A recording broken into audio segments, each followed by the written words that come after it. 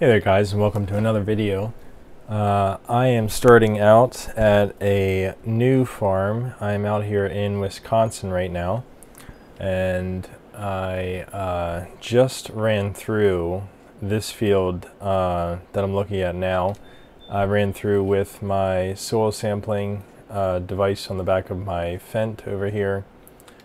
Uh, if you haven't seen any of my previous videos, this is a um, device I use fairly often in the beginning uh, of uh, before planting. Uh, it's a soil sampling device, and it's part of the. I believe it's. Oops, I left my I left my uh, seed cover open. Just filled up the planter with seed, brand new equipment. Over at the tractor supply, there is where the purchased equipment appears or spawns. Um, but I can show you the soil data uh, it's part of the precision farming mod.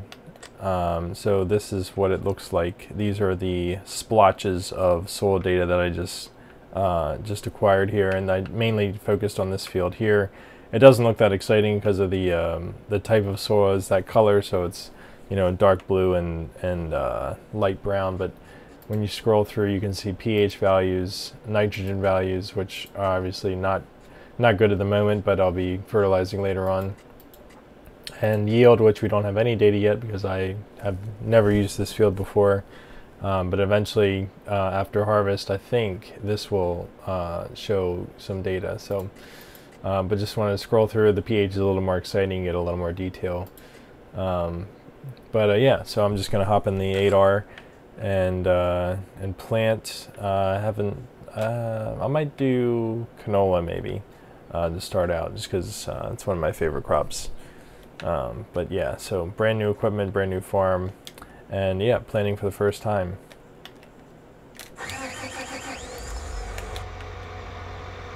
All right.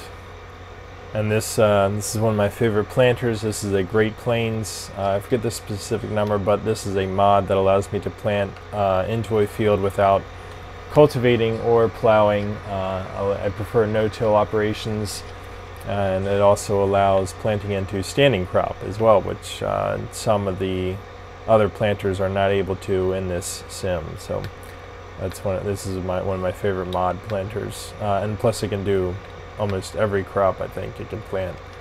Let me just do that now. Make sure I don't forget to do that. Canola. I'm going to close the cover. just filled it up with seed. As you can see, not all the way. I just did two. Uh, two bags. And yes, okay. Let it unfold there.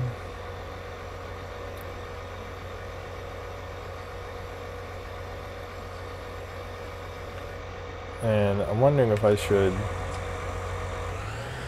I might set up uh, the GPS maybe. Make sure I don't back into my tractor there.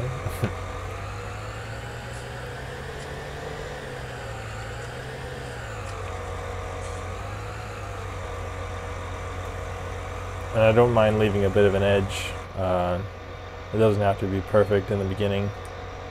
Um, because I don't mind uh, having a bit of an edge along the field if I miss every every square inch of uh, tillable, plantable soil.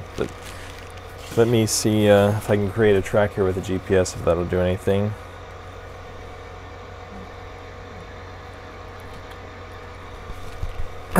okay, just need to turn the GPS system on, and what's the GPS menu? One second here as I get set up here. Okay. I should What is this field?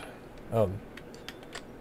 oh, they don't have names. oh, I just realized that. I was going to create a profile for the GPS system, but these fields don't have names, so we'll just go with... Oops. If I could spell. Field 1. Oh, okay. We don't need an offset. I think it's gonna set A.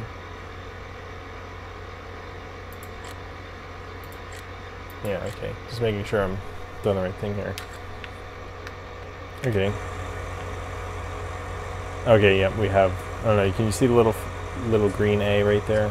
It's floating underneath the tractor. It's just a visual aid here to help me with the GPS. Uh, let me get my speed set. I like to leave it on cruise auto speed or whatever. Start up at 6 miles an hour. Okay, here we go.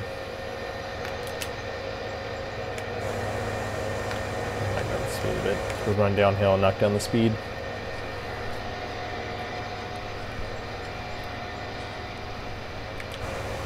Okay, right on. This is exciting. First field in this farm. And uh, I'm going to use outside view a little bit just to aid me here. Uh, since I am creating a GPS track, um, I want to be a little precise the first time while I'm in manual mode here uh, because it will do the next uh, opposite pass by itself or however I end up planting this field. So, and this is not a uh, this is not a uh, conventional square field like in some of the other maps. Uh, so, just want to pay a little closer attention here. That's a nice feel. I like that.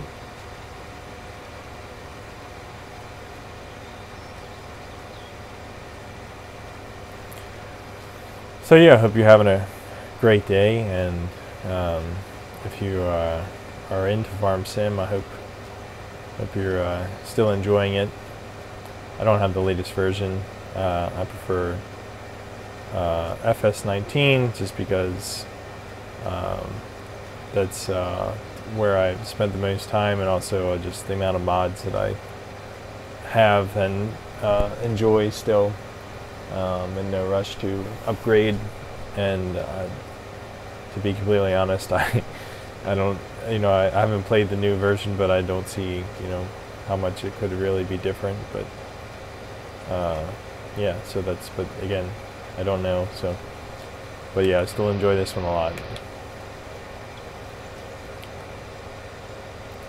I think it's kind of funny how the uh, texture of the field is not lining up with where I'm planting.